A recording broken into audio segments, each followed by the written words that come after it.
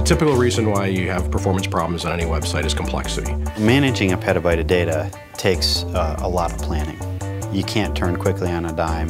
That kind of traffic, all of your infrastructure is stressed. IT professionals deal with a lot of complex and varied challenges.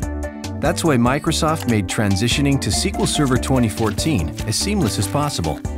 With SQL Server 2014, the in-memory capabilities are already built in, so you can run it on industry-standard hardware.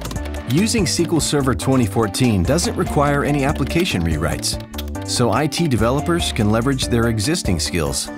One of the great things about SQL Server in-memory OLTP is it uses the same tool set that the developers and DBAs are used to. To them, it looks basically like standard SQL Server. With SQL 2014, there is no big learning curve.